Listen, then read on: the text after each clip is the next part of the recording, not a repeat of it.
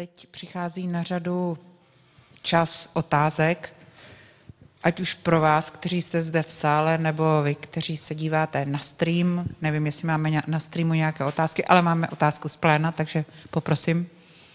Dobré odpoledne. Uh, Markéta Sabáčková, město Liberec.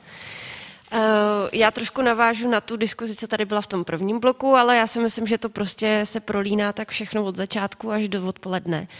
Začnu napřed příspěvkem a pak zápětí hnedka přijdu na velmi praktickou otázku na paní primátorku z Jihlavy protože ta, ten její uh, příspěvek si myslím, že by úplně mluvil z duše nějakým způsobem. První, co začnu, tak uh, jenom asi, uh, že uh, osoba Olgy Škochové Bláhové je teda asi hvězdou na poli strategie celé České republiky. A můžu teda říct, že máme tu čest jí mít v Liberci taky na palubě, takže my jsme jedno z těch mála měst, který si aktuálně zpracovává pardon, strategii kultury. Z několika důvodů. Samozřejmě považujeme to podobně jako třeba je ve sportu, kde dokonce eh, jakoby existuje zákon o sportu, který říká, že eh, samozprávy musí mít eh, nějakou strategii sportu, tak my to jedeme de facto i v kultuře, byť ten zákon neexistuje, který by to těm samozprávám nařizoval. A samozřejmě tu absenci těch strategických dokumentů v oblasti kultury vnímáme jako dost zásadní. A druhá věc samozřejmě, že eh, jako pokud, že se nám podaří přesvědčit na ně, naše zastupitele, tak bychom chtěli být jedním z kandidátských měst, podobně jako Brno na EHMK 2028, takže jako je to dost zásadní věc pro nás, ta strategie. Nicméně uh, můj dotaz na paní primátorku bude v oblasti spolupráce města a kraje Vysočina. Ono to bude asi podobně tady na kolegu z Brna, protože eh, já trošku vnímám právě eh, tu spolupráci eh, nebo spíš takhle, že ta spolupráce úplně není tak průchozí, nebo respektive trošku vázne. Necítím tam, necítím tam úplně jako tu spolupráci ve smyslu přirozený centrum toho kraje, což je prostě to statutární město, versus ten kraj, kde si myslím, jako teďka to je domněnka samozřejmě, která může být naprosto milná, ale aspoň u nás to cítím tak, že ten kraj se k tomu městu staví ve smyslu, že tím, jak jste jakoby velký to město, tak de facto jste soběstačný a nepotřebujete jako tu spolupráci toho kraje. Ale ono je to přesně naopak, protože uh, jakoby to statutární město je nejenom přirozeným centrem toho kraje, ale samozřejmě má ty potřeby podobně jako ostatní města, možná i větší právě tím, jakoby, že je tím přirozeným centrem. Uh, a ono to právě jako příklad za všechny, takový milej. Já jsem se o téhle konferenci vlastně dozvěděla předevčírem, nebo možná dokonce včera, uh, kdy jsem zpracovávala newsletter právě našim kulturním hráčům. A narazila jsem na informaci, jako, že tahle akce tady je. A uh, tak jsem jako hnedka volala tady Anetě, jestli se, jo, dobrý den, jestli se teda můžu účastnit a uh, Aneta mi teda dala informaci, že ta pozvánka dorazila, ale dorazila na kraj a už se nedostala jakoby na to město, jo, což mi teda přijde hrozná škoda.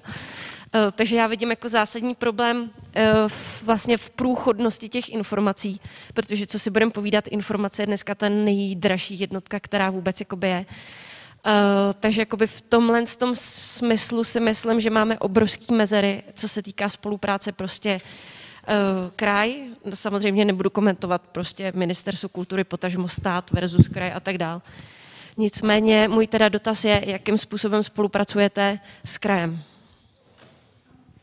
No, je to, je to tak, jak to říkáte, no. Eh, jinak um, u nás za strategii může taky Olga Škochová, takže uh, kdo ji znáte, tak děkujeme, protože bez toho jejího přístupu by to nezafungovalo takhle.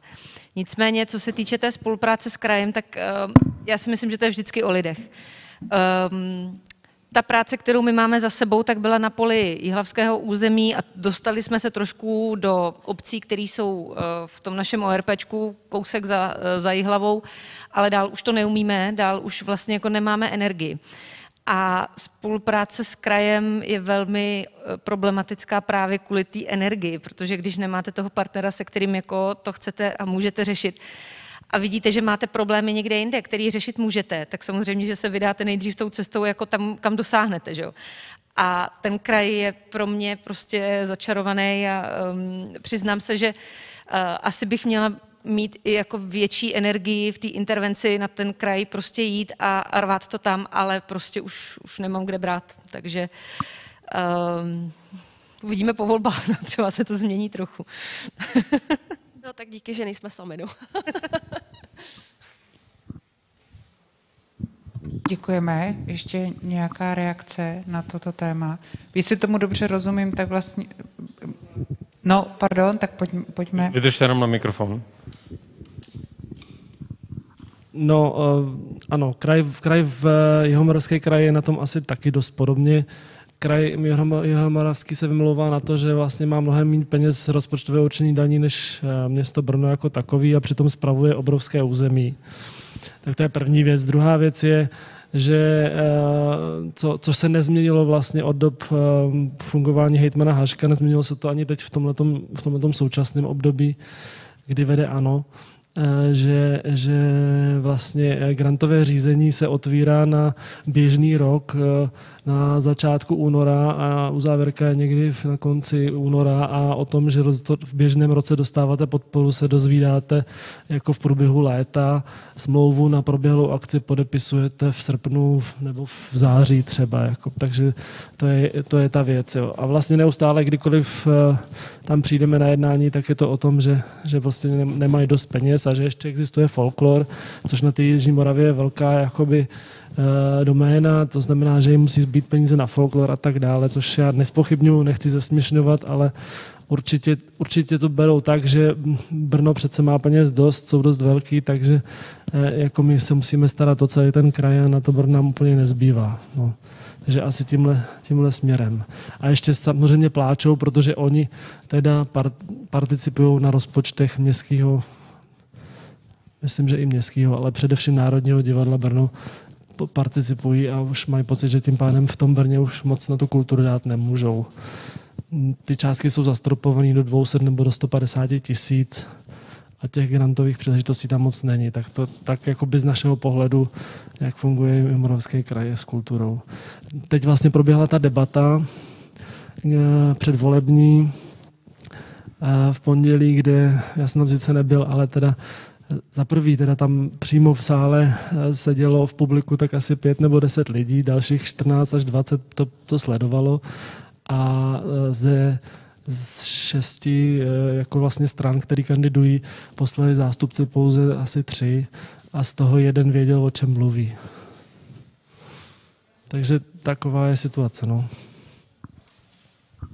A máme tu jako situaci zase vnímat jenom jako personálně, protože tady se to jako vlastně ta debata tříští do, do dvou pohledů. Jeden pohled je, že to záleží na jednotlivých konkrétních lidech a já přece jenom věřím tomu, že by mohly existovat i jako systémové změny nebo opatření, která by zabránila blokaci situace ve chvíli, kdy tam přichází nějaký nepříliš osvícený nebo zainteresovaný člověk, konec konců to je zhruba někde tam ve středu kolem, kolem otazníku vstoupit či nevstoupit do politiky a kolem otázky, která už se tady vlastně otevřela i, i včera, tak nemůžete my... No... Jestli můžu, tak uh nám se to podařilo na tom městě. Tam se opravdu jakoby to odblokovalo tím, že jsme si na té strategii vyjasnili ty očekávání jedné a druhé strany a ten konflikt se nějakým způsobem jako popsal a my už s tím počítáme.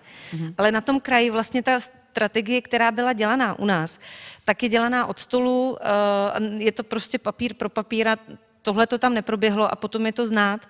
A eh, to potom je opravdu jako na tom, na té uh, intervenci jednotlivce, který prostě buď má ty, uh, to buldočí povahu a jde si zatím a nějakým způsobem to prosadí, nebo získá nějakou podporu širší, ale jako uh, když je tam a priori rezistence na tom, na tom kraji a nemají ani pocit, že by měli něco zlepšit, tak to prostě vyžaduje strašné energie. No. A to, jako na to je potřeba jako to prostě nějak prošťouchnout a hrozně důležitý je mít tam tu politickou podporu. To prostě jinak budete narážet do zdi, protože tam jako to, to nezafunguje. Ten systém musí změnit to město, to je to, o čem jsem mluvila. To vy nezměníte z té pozice jako uh, pokud nebudete mít nějakou podporu, aspoň, aspoň trošku někde. Právě. No, já bych doplň, jako souhlasím s tím, že vlastně Eh, ta systémová změna by byla možná, ale prvně je potřeba mít tu politickou podporu. To znamená, my teď musíme počkat, co se stane po volbách a potom prostě zahájit intenzivní jednání a pokusit se ty nové představitele přesvědčit o tom, že je potřeba s tím něco dělat, že to takhle nelze nechat. Mm-hmm. Pak je tady ale ten moment, o kterém se tady bavíme už od včerejška, který teď vlastně i Marta zmiňovala, a to um, ta věta musíme počkat po volbách. To, co vlastně eh, je v případě Karoliny Kobové, tak je to, že se nečeká na to, co je po volbách, ale jde se vlastně, a zároveň vlastně to říkal i Jan Kunce, prostě jde se do toho, vstoupí se do té politiky. Moje otázka spíš zní, možná, možná na paní Kobovou teď hned na začátku, když si vezmete svoji, svoje představy, často vlastně jakoby eh, na začátku naivní o tom, jak bude probíhat ta práce a co vlastně člověk pro to musí udělat, tak když pomineme ty úplně eh, nejošklivější věci, o kterých se potom dozvídáme eh, ve zprávách, tak na co se vlastně člověk, který opravdu má nejenom chuť spolu vytvářet se na tom kulturním prostředí, ale zároveň teda se to pokusit změnit zevnitř, na co se má připravit? No, věci, které vám přijdou úplně logický, tak přijdou logický jenom vám nikomu jinému. A vy prostě trávíte hodiny a hodiny tím, že se bavíte s lidmi a vysvětlujete to. A to je strašně únavný a frustrující, protože eh, každý z nás má nějaký prisma, kterým kouká na svět. A v té politice prostě, eh, my jsme ještě jako v takové specifické situaci, že eh, máme menšinovou koalici a je nás šest těch stran politických. Takže těch názorů je prostě každý z nás má, a, každý, a všichni to jsou aktivisti, nějak, jakože hrozně mají to téma svoje, který je nejdůležitější na tom světě. No tak to je prostě potřeba se obrnit a uh, opět prostě nastavit si nějaký jako pravidla, kdy uh, mají všichni možnost se vyjádřit a zároveň pravidla, kdy už se nediskutuje, ale teď už prostě je tak konečný deadline, teď se rozhodne a všichni sklapněte paty a, a pojďme, protože jinak to neuděláme. Ale teď je dva roky vlastně uh, od voleb a myslím si, že až, až teď na to jako přicházíme, jo, že to prostě všechno strašně dlouho trvá. Takže jestli chce někdo jít do politiky, tak prostě je to boj a je to prostě jako, už se nebojuje na, na bitevním poli, bojuje se za stolem, no tak. Děkujeme. Nevím, jestli to nalákalo, jestli to bylo zrovna... Já teď tak, mám takovou to... jako depresi obecně politickou, takže nevím, jestli jsem úplně tu mám taky. typ na nalákávání do politiky. Myslím, že nejste sama. Jan? Já jsem chtěl ještě, když se bavíte o těch krajích, Moravskoslezský kraj docela jako funguje, co se týče grantů a vůbec té jakoby kulturní politiky. Všichni víme, že tam je spousta festivalů, byl tam i docela, nebo ještě tam stále je eh, náměstek Curilo pro kulturu, který to docela jako eh, že nesprávným směrem, ale eh, jak já jsem vyprávěl o té Opavě, tak u nás je to zase obráceně. Jo? Oni řekli v Opavě, my si nemůžeme dovolit tu operu a už ani vlastně tu příspěvkovku pořádně a buď to zachrání kraj, anebo my na to kašlem. Jo, to je taky takový úplně šílený přístup, protože vlastně je to obráceně. My, my bez kraje a kraj nám řekne, my na to nemáme peníze. Jo. Jinak jsem chtěl teda taky obdivně mluvit o paní primátorce z hlavy. To, to, je, to je týmová práce. To je není, mi to jasný, všechno je týmová práce. No. Vedle mě sedí Adam Hruška, který teďka šéfuje diodu po mně. Jo. Já myslím, že kdybych mu dala mikrofon, takže to obdivný zase schodí, protože uh, ten konflikt tam pořád je, to není jako vyřešený. To není Já si myslím, že za každým jako... z nás jako stojí nějaký tým, jako my jsme vši, všichni tady jenom jednotlivci, ale vždycky tam je tým, který to řeší. Že jo?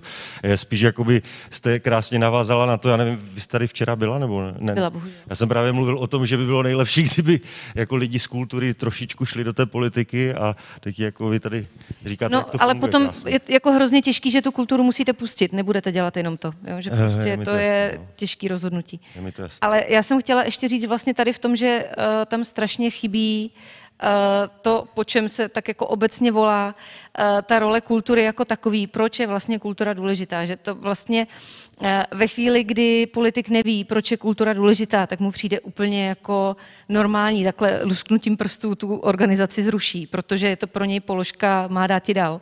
A vůbec mu nedochází, co to udělá. Tam, jako, tam si myslím, že je obrovská uh, jako nika na trhu, nebo nevím, jak to mám říct, něco, co kulturní sféra musí nějakým způsobem dohnat, protože to za ní nikdo jiný neudělá. a tu roli jako neustále obhajovat, vyzdvihovat a dávat najevo, že kultura není jenom koncert. Jo? Že pořád ty lidi mají pocit, že jdu do divadla a to je všechno. Jo? A to, co to způsobí v mozku, to, co mi to způsobí v peněžence, co, co mi to způsobí v zaměstnání, že chodím do divadla, to má prostě nějaký návaznosti. Má to přímý vliv na ekonomiku města. Ale dokud tohle nebudou ty politici vědět, tak se tohle bude dít prostě. No. Já jsem někdy četl, možná, že to taky četli, že eh, lidi, co žijou kulturně, víc třídí odpad. Nefakt jako. Protože lidi, co žijou kulturně, tak přemýšlejí.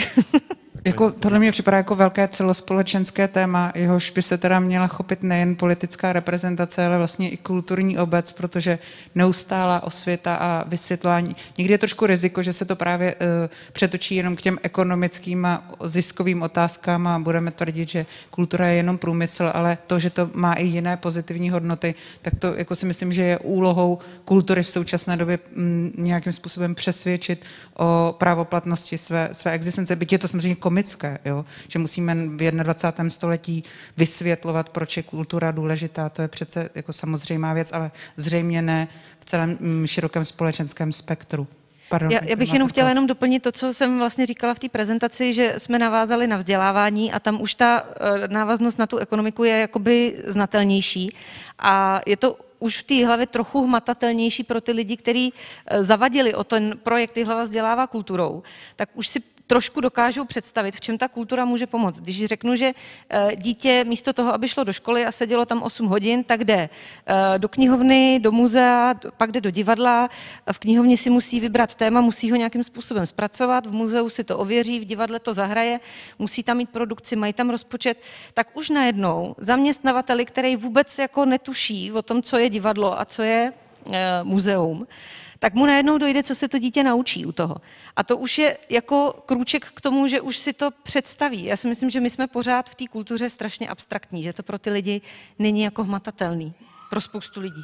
Jo, tahle otázka síťování se tady vlastně ukázala i, uh, i minule nebo včera. A teď vám odhalím, že to, co bylo tématem včera a krylo se to s dneškem, tak to jsem označila hvězdičkou. A já nevím, jestli se vlastně nedostáváme už k tomu závěrečnému bloku určitých schrnutí tak ten typ jako kulturní advokacie prostě musí být navázaný i na jiné rezorty nebo jiné obory, tak, aby se ukázalo, že kultura je jako uh, propojená i s jinými oblastmi. U toho vzdělávání je to samozřejmé, ale potom tady byla včera řeč o například ministerstvu průmyslu a obchodu a tak dále, o dalších, dalších rezortech, kdy je prostě jasné, že ta kultura neexistuje ve vzduchoprázdnu, ale e, v širokém kontextu a zase se dostávají do popředí slova jako komunikace. Myslím, že tady někdo taky zmínil nakonec informace, propojování věcí e, ve vzájemných souvislostech.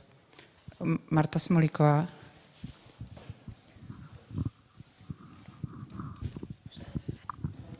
Já, protože je tady celá řada lidí z regionu, tak bych se chtěla zeptat.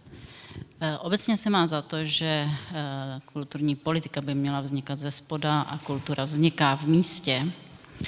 A ty města samozřejmě a obce by měly mít zásadní vliv jako na vůbec formulaci kulturní politiky.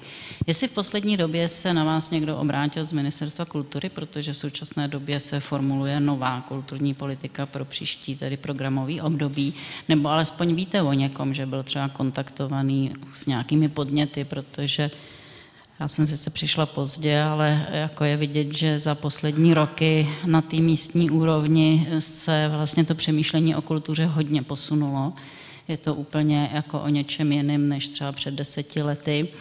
A vlastně vy byste měli mít šanci vůbec jako nějakým způsobem posunout ty své potřeby. A netýká se to teda jenom ministerstva kultury samozřejmě, protože tady bylo řečeno, týká se to potom těch dalších ministerstva pro místní rozvoj, eh, MPO a těch styčných ploch tam pro kulturu je celá další řada. Tak jestli vůbec na té národní možná úrovni jste s někým v kontaktu. Možná to uděláme trošku jinak, vaši, protože těch lidí je tady více, tak já vás poprosím jenom zvedněte ruku ti z vás, kteří jste z regionu, z kulturních organizací regionu, výborně, takže jenom máme představu, kdo všechno tady sedí. Tak a teďko zvedněte ruku ti z vás, kteří jste byli osloveni eh, na spolupráci na státní kulturní politice nebo na nějaké jiné politice. Ivona Krojcmanová a Marie. Výborně. Takže tři lidi a z toho, jestli se nemýlím, tak všichni, ale tři jste uh, v Praze, že jo? Je to tak? Nejenom. Tak možná nechcete to trochu specifikovat, ten způsob, Tak v tom případě vám půjčíme mikrofon. A ještě já mám druhou takovou poznámku ano. už, eh, což je spíš reakce tady na eh, Chalupskýho. Jakože my nemůžeme čekat, až jsou zvolení politici a pak zjišťovat jako a kultivovat je. To je prostě problém, který jako máme. Já to zažívám, třeba včera jsem tady vykládala o ITI, jako dalo by se říct, jako že to je nějaká respektovaná organizace. Ne, pokaždý, když přijde minister, tak my se tam frotíme, aby vůbec nás přijal, pak nás pošle tam k někomu jako níž, znovu a znovu vysvětlujeme, co to je, o co jde a je to furt do kolečka. Jo. Těch ministrů, to je jak na Orloji, se to tady mění a jako tohle to se děje potom i na těch eh, samozřejmě krajích, městech, že se furt začíná znovu a vždycky tam přijdou prostě lidi, kteří vlastně nemají tu základní orientaci vůbec jako v tom politickém myšlení eh, jako toho sektoru. Jo. Neznají prostě ty souvislosti, nemají představivost jako, a to myšlení v podstatě vůbec neodpovídá dnešní době. Takže to je jako obrovský problém a asi by se mělo víc soustředit na to, prostě si najít pár lidí, který možná z vás jako budou schopní na té politické úrovně potom některé věci vysvětlit. Děkuji. Děkujeme. Takže začneme postupně, Marie. No, tak e, samozřejmě jsem v Praze, ale jsem taky ve Žáře nad Zázavou, e, kde moje zkušenost je, byla jsem pozvána na komise, které zkusil dávat dohromady strategie pro kulturu a moje zkušenost byla hodně krutá. S tím, že všimla jsem se, že eh, ty eh, kulturní aktéři ze Žďáru vůbec nevěděli, co kultura je. To znamená, že to jsou lidé, kteří byli spíš na příspěvkové organizace a eh, jediná věc, která byla pro něj důležitý, je zřizovat a tak dělat administrace, ale fakt vědět, proč kultura je, nebyl pro něj něco důležitého. Tak to bylo fakt krutý. Um, pak uh, zkušenost spolupráce se s městem, se regionem, tak uh, my jsme o tom už, uh, už mluvili dávno a je to tak hodně krutý. No, Vysočina je Vysočina prozatím a to měnit. Můžeme se posílit, ale měnit to porozumění bude dlouho. Děkujeme. Tak jestli můžete dozadu ke kolegyni dobrý den, Kateřina Bohadlová, Teatrum Kux.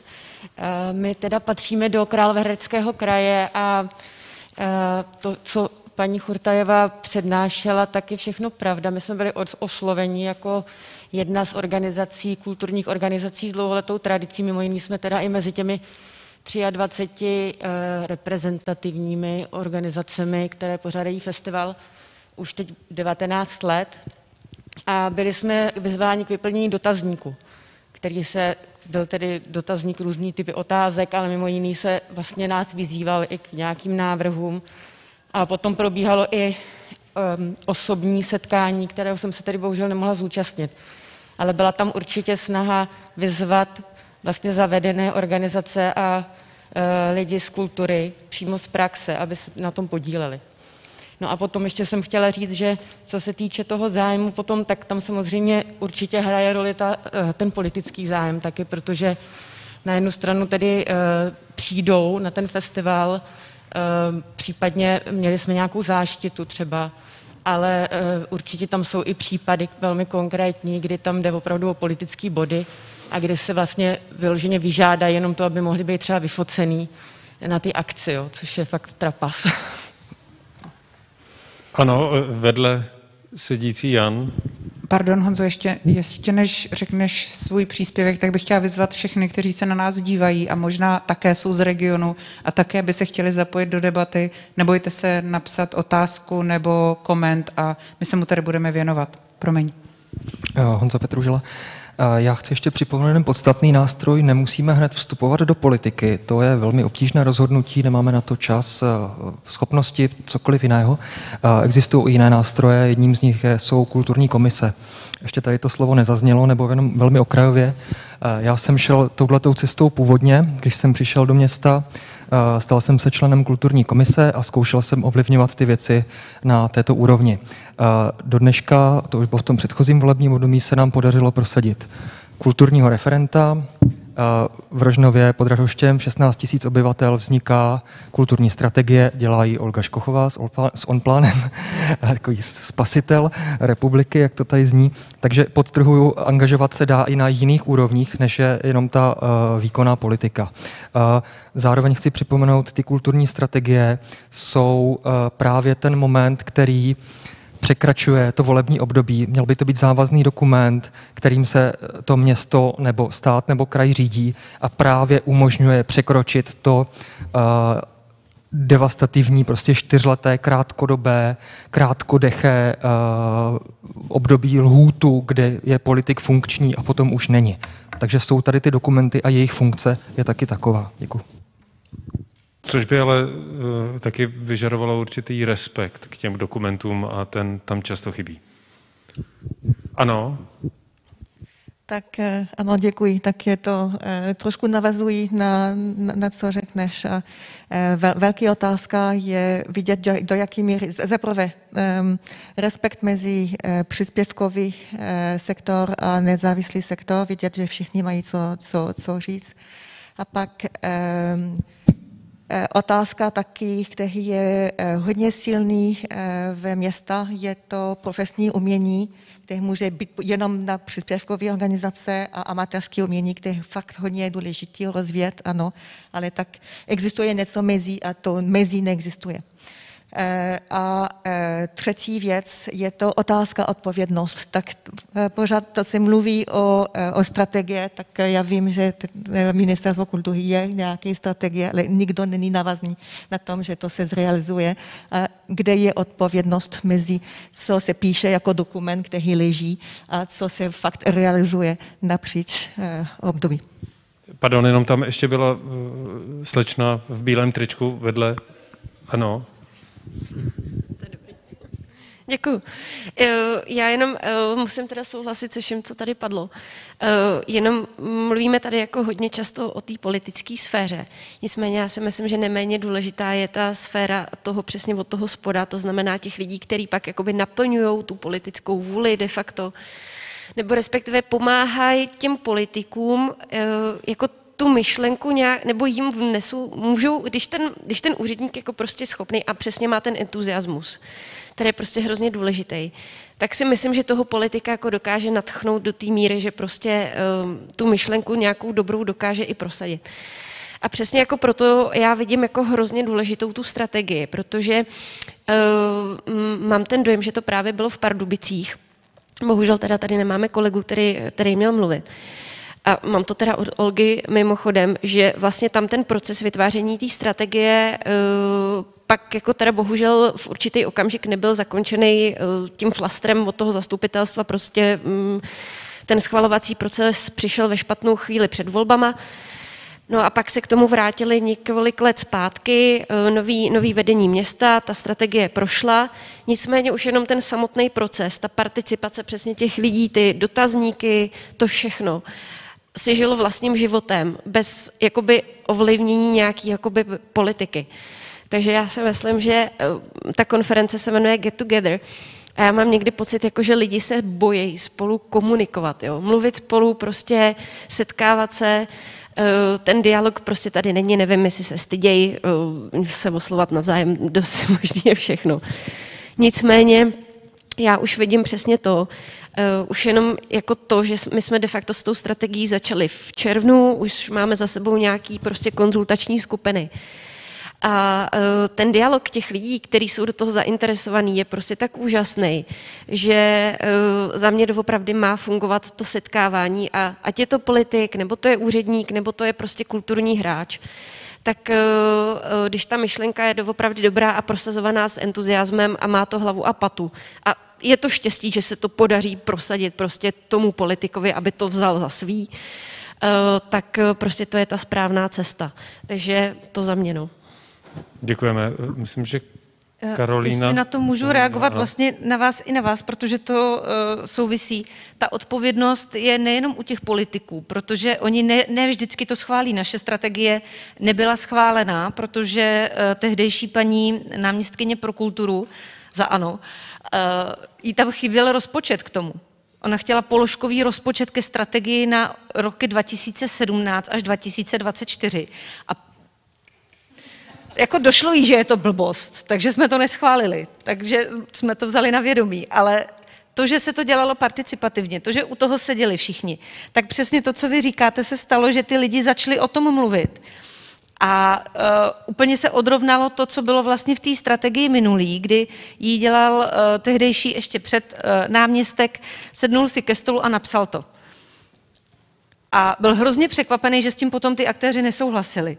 Já řeknu, že to bude takhle a ten řekne, že to bude takhle, ten řekne a, a ten chce tohle, ten chce tohle, to nejde udělat. No samozřejmě, že to nejde udělat, když se těch lidí nezeptá. Tam je strašně důležitý ten proces té tvorby, protože ty aktéři si to potom drží. Ty potom mají, tu, maj, mají mít ale tu drzost, to prostě eh, chodit na to město a říkat, ale vy to tady máte napsaný, vy tady už jako sice jste, jako vy jste to tady eh, nedělali s náma, ale zastupitelstvo to buď schválilo, anebo to město nějakým způsobem už podpořilo tím, že se k tomu přihlásilo. A tohle jenom navazuje ta odpovědnost musí být zase obou strana a musí to být, to, ta komunikace jako eh, vyprchá ve chvíli, kdy to ty lidi nemají jako mm, vy, vyříkaný si v tom procesu. To se nesmí stát. Pan Kunze měl žádost o slovo. Já jsem strašně rád, že jste tak entuziastická a že to vidíte tak pozitivně, jo, protože u nás jako uh, strategie kulturní v Opavě se řeší asi tak 20 let. Uh, taky se stalo to, že ne, před předchozí, myslím třetí předchozí primátor ji napsal sám z ruky a pak se divil, když jsme udělali velké kulturní kolečko, že vůbec nikdo nechápal, o co jde. Mělo to dvě stránky, dvě A4. Jo. No, tak to jste byli ještě dál. no a uh, teď to došlo tak daleko, že uh, v politickém uh, programu koalice, jak se, koaliční smlouva, se to jmenuje, že jo, bylo, že jako kulturní strategie je jasná priorita, že už to konečně musíme udělat. Je dva roky po volbách a primátor řekl, že žádnou kulturní strategii nechce prostě a že vůbec to dělat nebude. Takže já vám fandím, že máte asi politiky, kteří jsou jinde, jo, protože já věřím v to, že samozřejmě to musí tlačit lidi od nás, z naší party, ale stejně tam prostě musí být osvícený politik, kterému to můžete aspoň nějak říct, nebo dokonce který chce vůbec o tom komunikovat. Jo? To se u nás vůbec neděje. A nebo musíte najít ty lidi, kterým on naslouchá a ty ovlivnit? Na, já, podívejte se na stránky města. Náš pán primátor je sportovec, netají se tím, chodí do posilovny, má největší svaly z celého města. A ne fakt, ne, bez, jako fakt. Jo a je taky politik, ano, z městského časopisu udělal, si udělal pr časopis a v podstatě na zastupitelstvu běžně říká, že ho kultura nezajímá a že sport je mnohem důležitější. Jo. Takže je fakt těžké mu to natlačit. No tak pak, pak to chce teda ale kulturně osvíceného velkého sportovce, který za ním přijede na návštěvu, vyfotí se s ním a ještě mu řekne, že by teda tu strategii už mohl. Co? No, povídejte, samozřejmě. Potom ještě předáme... Potřebujete slovo. Olgu Škochovou, to je úplně jasný.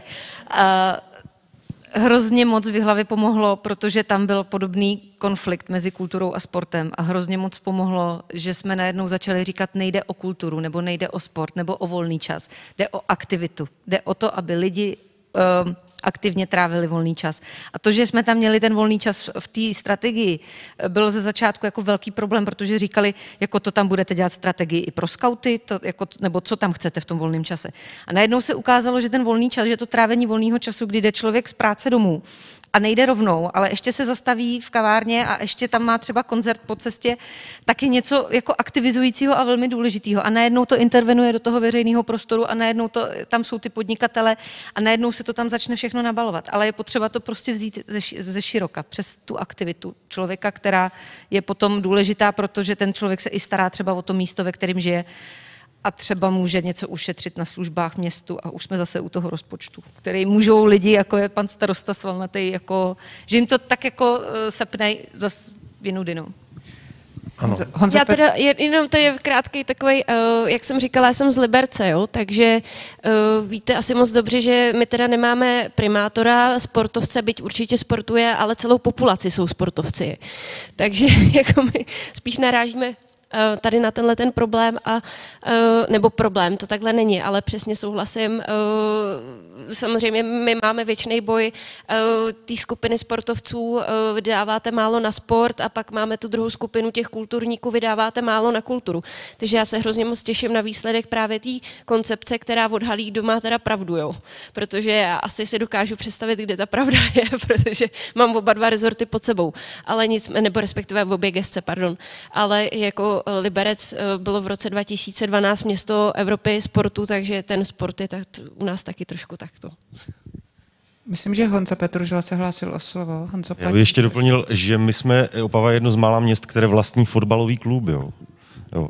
My, my máme na vyplatní listině města fotbalisty, kteří berou třeba 100 tisíc za měsíc, přátelé.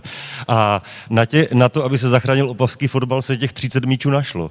Na to, asi by se zachránila opera, se nějak ty peníze nenacházejí. Jako, ale držím, je to, je, zní to dobře.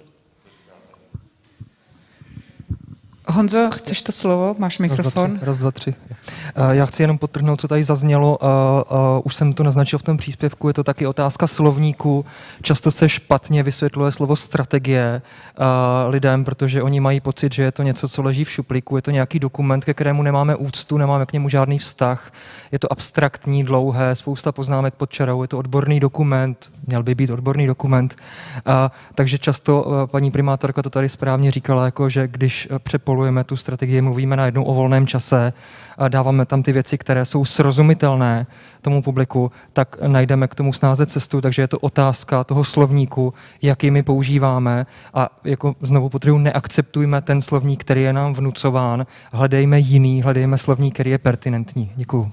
To, to bych poukázala na naši nástěnku ze včerejška komunikace, hledání jazyka na venek, způsob, jakým budeme komunikovat a jak vlastně je ten jazyk, nebo jaký jazyk si necháme, jak říkal Honca, vnutit, to mě přijde jako docela důležitá, důležitý bod. Eh, nebudu vůbec tu debatu nějak řídit, jenom bych tak si, do, jako si za, zaprorokovala, že už se vlastně přesouváme k té závěrečné části, což není vůbec nic špatného ani tragického, protože dotazy jsou velice obecné, takže nevím, jestli je možné m, tu tabuli nějak jako přesunout, sem, už tam skoro je, takže se na ní průběhu svých, svých příspěvků stále dívejte a máte-li pocit, že tam ještě něco chybí, tak určitě dodávejte, čímž jsem samozřejmě nechtěla tu debatu, jak říkám, přerušit.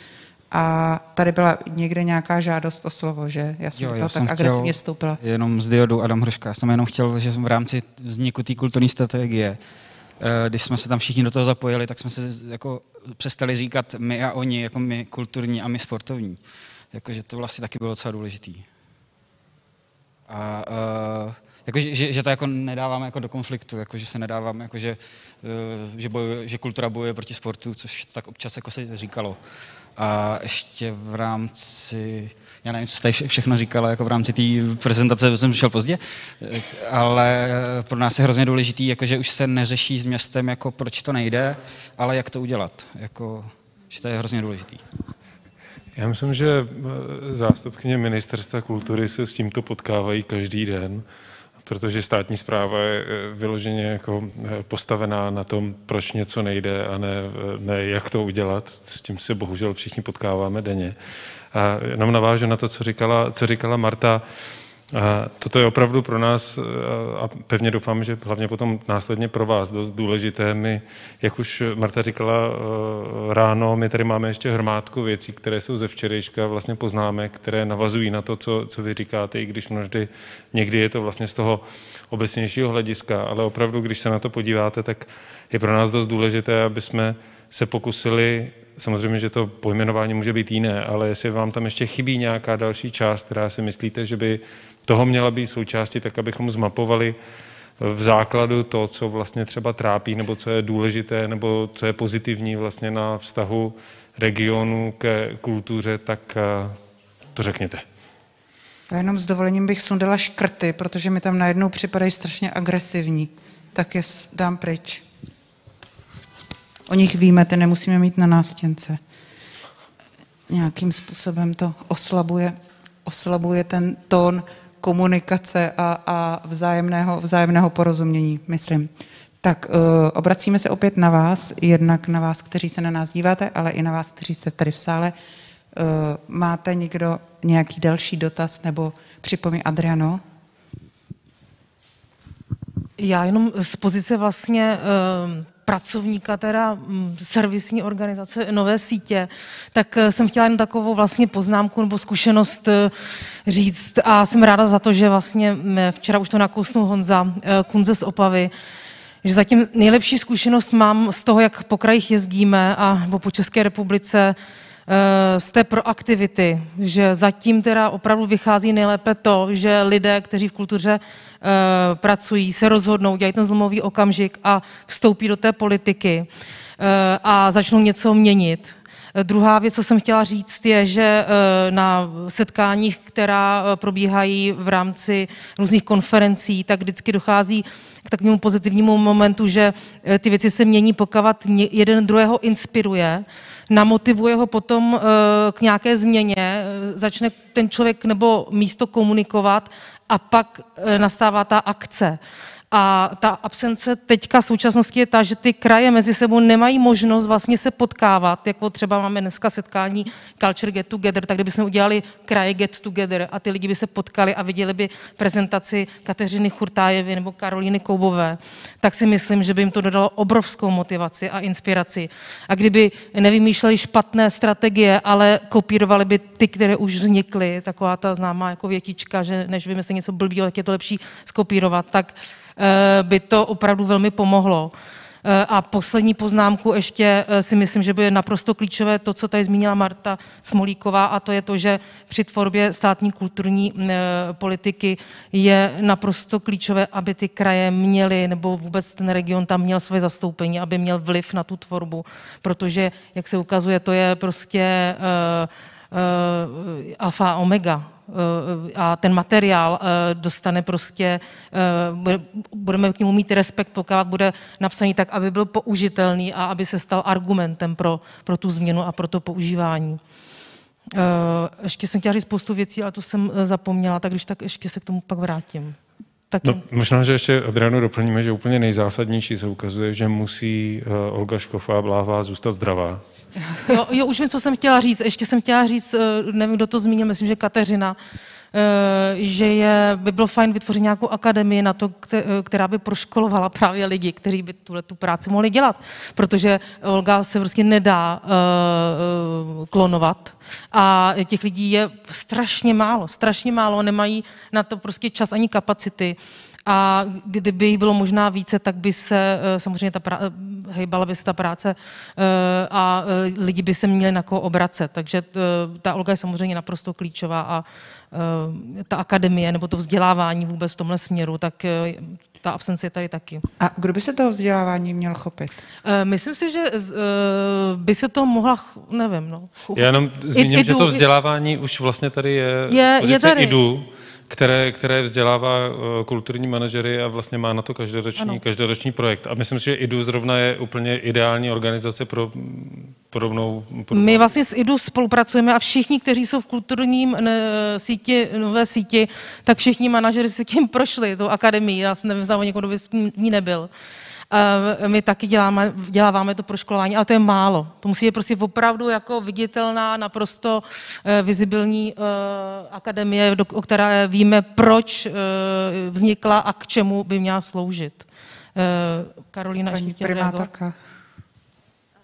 Já jenom uh, kulturní management se ne, mus, nedá studovat jenom na IDU, ale uh, je těch fakult a kateder víc, takže uh, já si myslím, že by to mělo být spíš jako součást toho studia, uh, něco, co je tam uh, naprosto jako uh, základně vloženo a nedá se to oddělit, jo, protože uh, v tom kulturním managementu my jsme měli hodiny managementu, ale uh, bylo to odděleno vlastně od té kultury. Tam jeli dva proudy prostě toho kulturního vzdělání a potom toho managementového vzdělání, kdy nás ale učili lidi z ekonomky a bylo to vlastně odtržené od těch potřeb. Jo. Málo se to potkávalo, což teda ale samozřejmě je to deset let zpátky, tak já doufám, že se to nějak jako vyvíjí a mění, protože Eh, ten kulturní management prostě roste a už jsou vystudovaní lidi, kteří mají v sobě eh, nějakou praxi a můžou jít dál učit, ale uh, myslím si, že není potřeba dělat jako nějakou novou úplně akademii, že stačí fakt koukat do osnov prostě těch vysokých škol nebo do těch plánů učebních, do toho profilu studenta, jak má vypadat a tohle by měl být základ. Teď nám tady chybí Mario který by nám potvrdil, nakolik na VŠE tyhle té části vlastně kulturního managementu jsou vyučovány. Je pravda, že možná příprava strategií je něco, co tam určitě je, ale otázka, nakolik je akcentováno. Mhm. Mhm. Eh, já jenom to doplním, ta situace se hodně zlepšila, jo. není to jenom ekonomka, je to management, umění, třeba na Masarykově univerzitě, já tam učím sama kulturní politiku a všechny tyhle věci přednáším. Eh, je to eh, jako i v těch vlastně uměleckých oborech dneska ty předměty, které jsou zaměřené na management, na grantovou politiku, na vůbec jako nějaký strategičtější plánování, tak ty už se jako objevují, jo? ať už to je damu nebo jamu.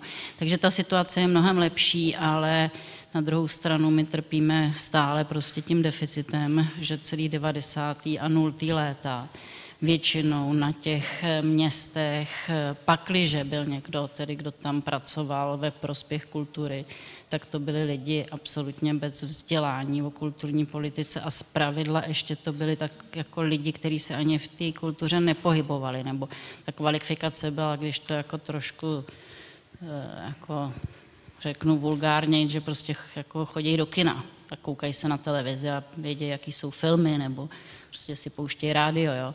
Takže jako podle toho to taky celou dobu vypadalo, protože na těch městech, krajích vlastně nebylo moc kým se o tom bavit. Jo. Těch lidí, kteří měli trošku větší pochopení nebo zvědavost pro to, co se děje, bylo strašně málo.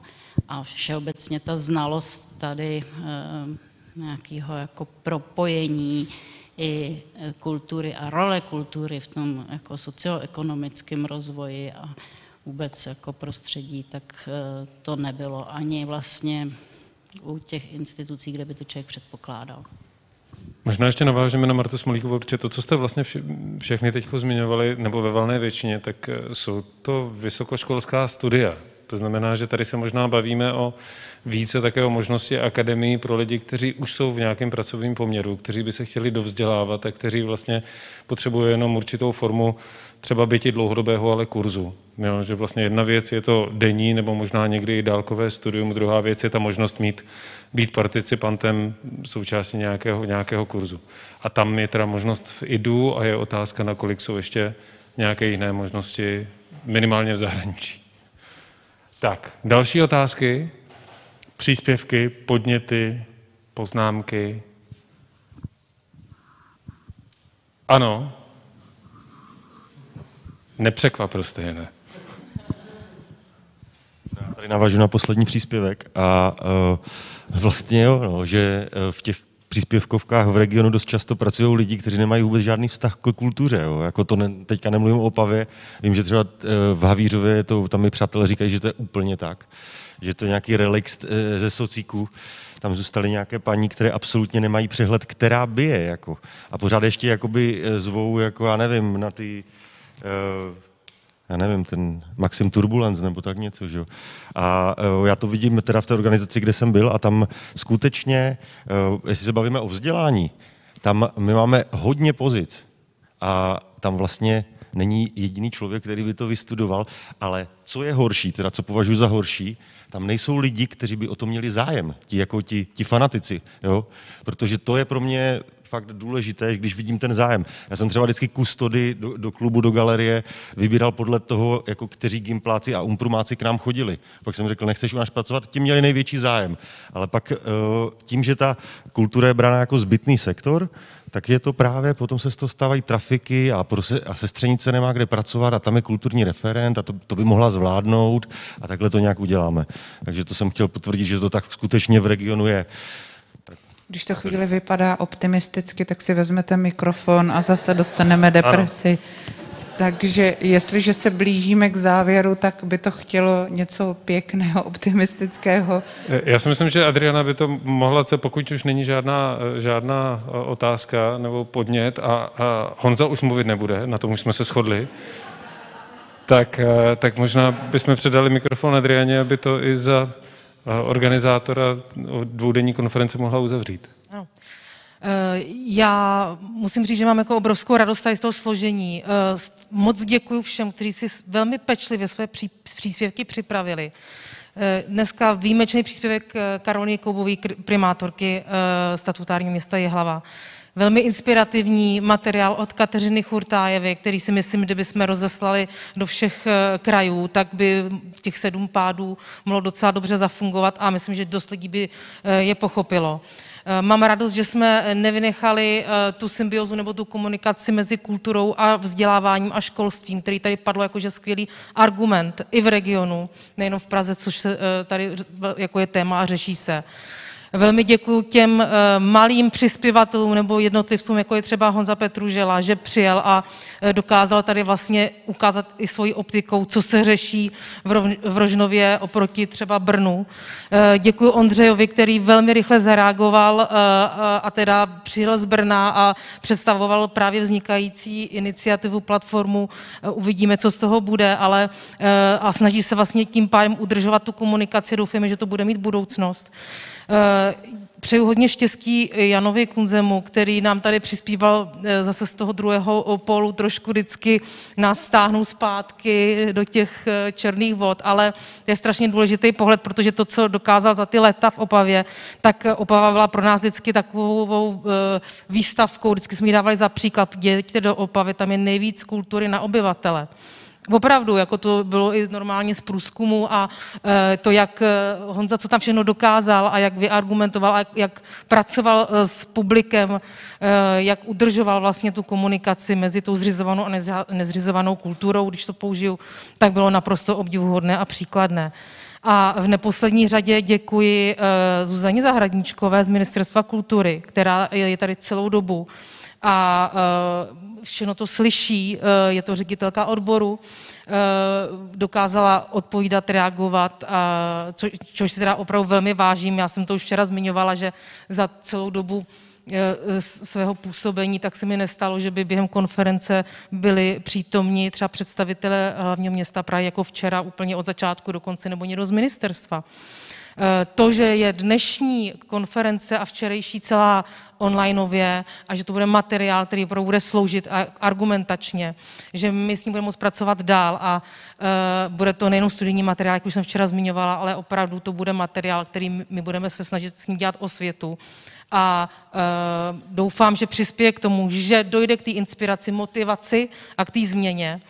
A uh, Moc bych vás poprosila, pokud se na vás někdo teďka obrátí a doufejme, že ano, na vás z regionu, kteří uh, opravdu jste proaktivní, tak zkuste mu tu motivaci ještě udržet nebo pomoci a ukázat mu, že to vaše rozhodnutí bylo správné a že jste se rozhodli vstoupit do politiky, tak eh, je to možné a že nepřijdete o všechno, eh, Nebudete se muset vzdát toho, co jste dělali do posud. Já doufám, že tomu tak nebude.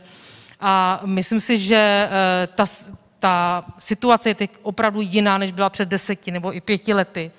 A to, co tady zmínil Libor Kasík, eh, že ta současná situace, ta, eh, nebo tato příležitost, že to je šance pro změnu, že bychom spíš měli využít teďka toho, že ta kultura je v tom hledáčku a je to téma, přeci jenom i ten covid tomu pomohl, tak bych tu, ten vir té kultury šířila teda dál a e, já doufám, že tohle, ten nultý ročník bude pokračovat do toho prvního ročníku, který by měl být za rok. A to téma nám vykrystalizuje eh, z toho, co se nám tady díky Sašovi a Martě podařilo eh, vyargumentovat nebo vyargumentovat, specifikovat na tabuli a s čím budeme také pracovat dál. Z tohoto místa bych taky chtěla poděkovat Nataše Zichové, která neuvěřitelných let tedy eh, kopala, bojovala za náš sektor. Je to obdivuhodná práce. Já teda tleskám takhle.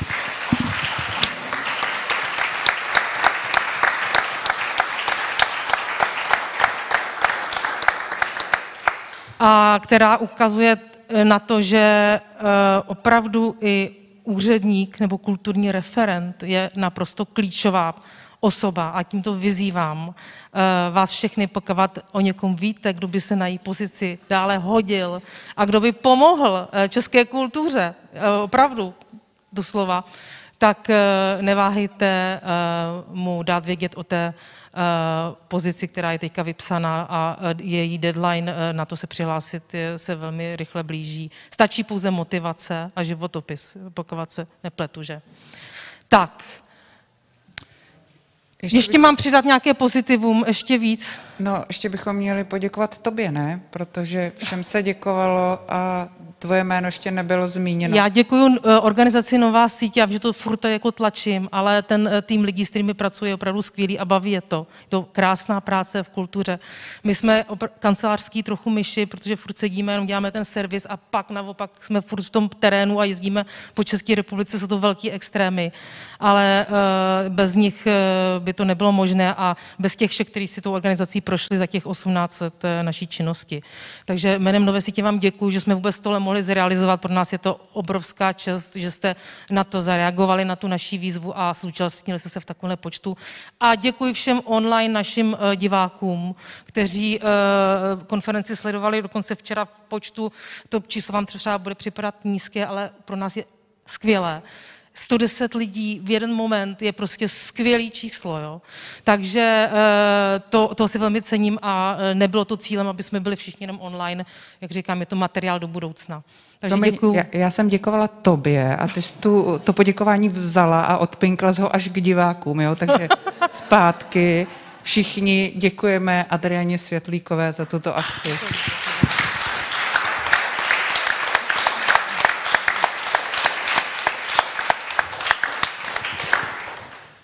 Tak to uzavřeme. Děkujeme moc. Děkujeme vám všem, kteří jste vážili cestu, ať už zdaleka nebo zblízka. Všem těm, kteří jste se dívali, to už tady zaznělo. Budeme se těšit tedy na příští rok. Jak už bylo řečeno, témat asi pro, je tady opravdu jako zhruba 55 konferencí na následující roky, takže máme co dělat. A držíme vám především všem pěsti nejenom v té současné situaci, která je složitá, ale především i v tom, abyste jak už to tady zaznělo, abyste nevyhořeli, abyste měli motivaci, abyste měli partnery, se kterými můžete jednat a především, aby kolem vás prostě byli lidé, kteří vám chtějí naslouchat a kteří se chtějí podílet na tom, aby kultura u nás opravdu nebyla zbytnou, jak to dnes ještě stále trošku někde platí. Takže děkujeme i za Martu. Vyfoďte si naši nástěnku a až vám bude úplně nejhůř, podívejte se na tu fotku a uvidíte, že v tom nejste sami. Děkujeme moc krát. Naschledanou. Děkujeme. Naschledanou.